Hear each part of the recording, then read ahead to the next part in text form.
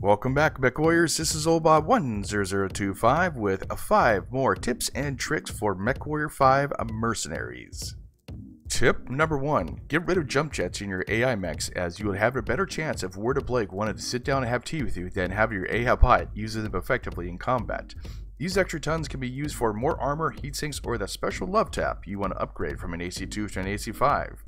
Generally, everybody, when the A I've only seen once in the whole game system, that was in the beta, where actually uh, AI bot used the jump jets themselves. Just get rid of them for your for your AI mechs, dump it, and get an extra half ton of ammo, get an extra heat sink, max out your armor, do something else with those jump jets because they do not use them whatsoever. Definitely do that, guys. It'll save you a lot of tonnage on your mechs themselves for your AI bots. Tip number two, you can access all controls of your Merc company by hitting the tab button while you're mining your mechs from the mech bay of the Leopard dropship. Generally, all you gotta do is hit tab and automatically goes to whatever type of UI panel you would go ahead and have, barracks, market, contract, star map, everything you want to do. You don't have to run over to a console.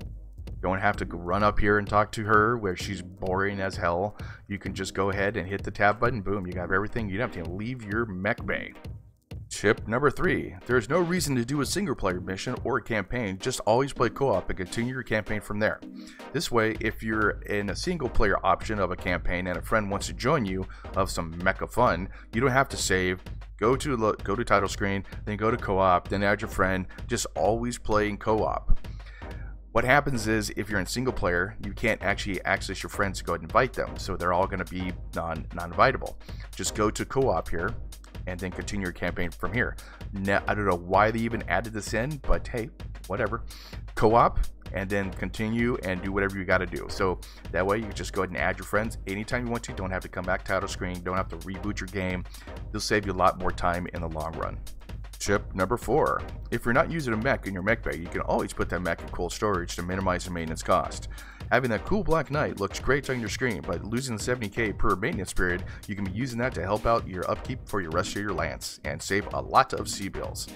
Generally, guys, if you're not actually using these uh, these bays or the mechs themselves, or don't really, you know, you're kind of iffy on it, like this awesome, this Black Knight, cost 70,000 each. That's 140,000 if I would have kept them in there, just go and have. Doesn't take much to go put them in there and then go and upgrade or, or go and like, add them out and, and, and then put them in there. It just, uh, it, I would recommend just put them in cold storage unless you really do need these mechs or want to go use them for a, for a specific type of mission or contract or whatever. Just just get a lance mechs you always loot, use, a second lance kind of medium mechs to fill in the different spots in case you have your tonnage kind of iffy there. And then one or two lights, you know, just to pop in there to go ahead and add in just in case you need the extra fourth pilot. Definitely put them in cold storage if you don't need them. Tip number five. Follow the letter of the contract like a lawyer. There is no point in sticking around to an assassinate mission after you kill the target and will only get your pilots killed or have a hefty C-bill cost repairing your mechs because you want it to look good on the field of battle. Just get in, get out. This also applies to war zones. As war zones contracts, you just have to kill a number of enemies, then bugger out, but you can stay and get some extra C-bills per enemy you destroy only stay if your contract damage coverage is so high you don't really care if your mech gets torn to shreds as is covered with the contract. What this means is do your contract to the letter. Get in, get out. There's no point in staying around and getting such damage on your mech. You might lose a pilot, you might lose that mech. It's gonna cost you so much in C-bills to go repair those things. Sometimes on a bad mission, and I lose one or two mechs, it costs me like three, four million to go and get those fixed, and that's in a war zone. So I, I, if I want to stick in and do a couple more missions inside there, it's gonna cost me an arm and a leg and C-bill cost. Just make sure if you use in doing a war zone and you have really high coverage, that's 899,000. That's generally one mech to maybe two mechs kind of destroyed. You can go and cover that and not have to worry about it.